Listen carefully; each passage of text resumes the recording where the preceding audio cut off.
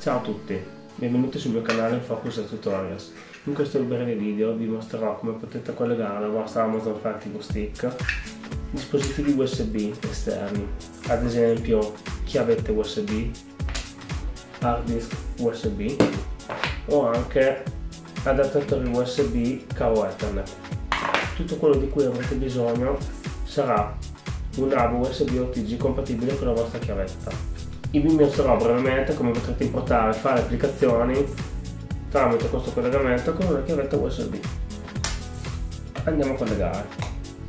Un consiglio, quando collegherete l'hub USB OTG alla vostra chiavetta, non alimentatelo con la presa USB della TV, ma alimentateli tramite una, un alimentatore esterno, perché generalmente le televisioni non hanno diciamo tutta quella potenza per supportare anche per esempio un hard disk USB che assorbe veramente tanta corrente.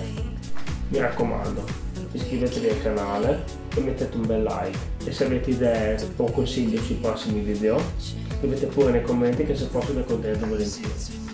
Ora passiamo al tutorial. Per poter collegare il vostro hub alla chiavetta si fa in un modo molto semplice. Si attacca nell'unica presa disponibile, cioè quella di alimentazione, l'ABBA. L'alimentazione che andrete a attaccare alla Fire Stick l'attaccherete alla presa di alimentazione dell'ABBA e tutti i dispositivi USB potete attaccarli nelle varie prese. Io adesso andrò a mettere sulla chiavetta USB il file di installazione di codi e poi lo andrò ad aprire tramite il file manager della Fire Stick lo vado a scaricare.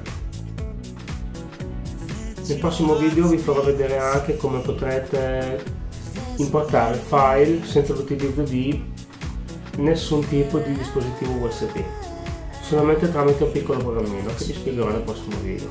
Quindi mi raccomando seguite il canale. Ho messo il file di installazione di codi dentro la chiavetta USB e adesso lo andrò a collegare al lab. Allora, entriamo nelle applicazioni File Explorer e vediamo se la nostra Fire TV vede USB.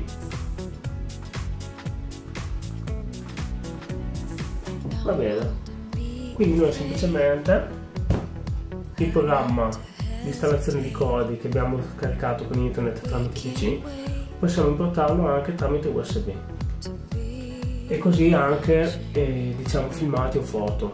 E adesso provo a importare qualche filmato di quelli che ho fatto sul canale. Vediamo se funziona.